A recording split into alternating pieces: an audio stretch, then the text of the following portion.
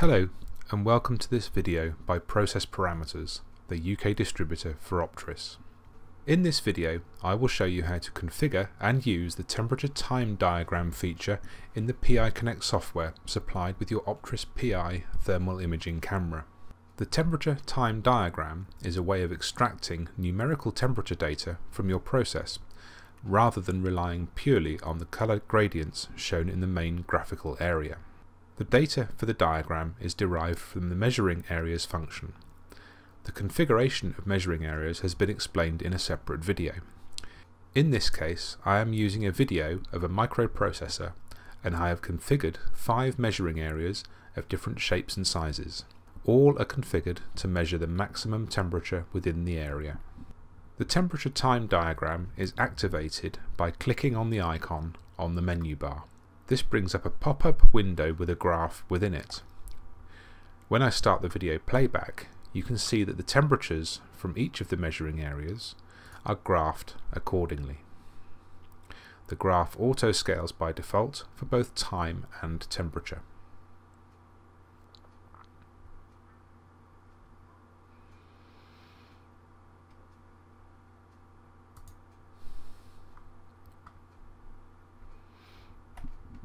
It is possible to pause the graph so you can investigate an event in more detail and then continue once you've done that. You can also zoom in and scroll and zoom out to investigate events in more detail.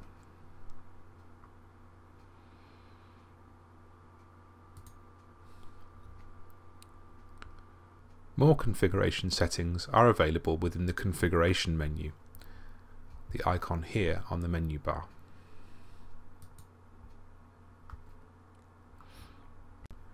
Here we can configure which areas are displayed on the graph and what colour represents which area.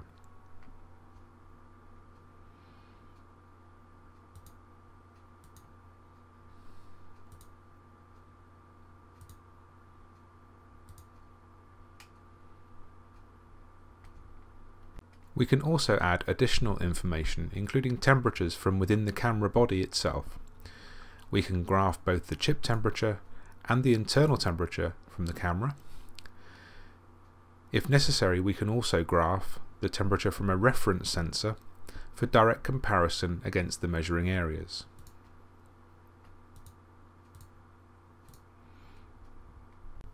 Finally, we can add some other values that we can input through the process interface fitted to each camera.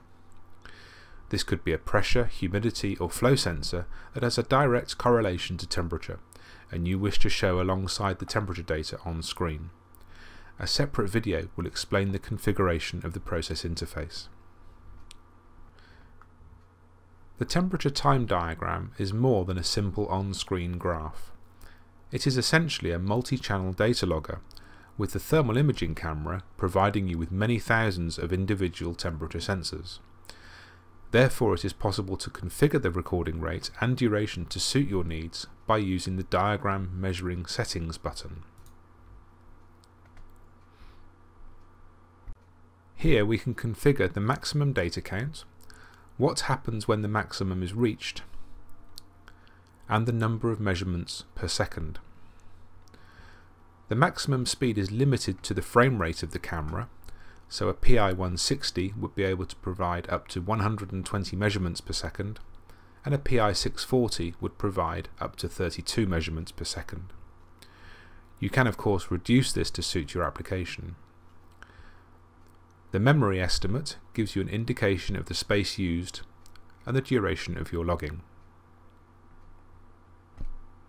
The last element to consider is how to extract this logged data from the PI Connect software. This is very straightforward. You simply use the file save temperature time diagram data and this will save the data to a file on your hard drive. The file is stored as a .dat file and can be opened within Microsoft Excel or similar to give you a data logging file that is date and time denoted with measurements for each area configured. It is important to note that whilst this video has been prepared on a video recording, the temperature time diagram is just as useful on a live process. I hope this video has been useful. If you have any questions not covered here, then please do not hesitate to contact us. Details will be shown at the end. Thank you for watching.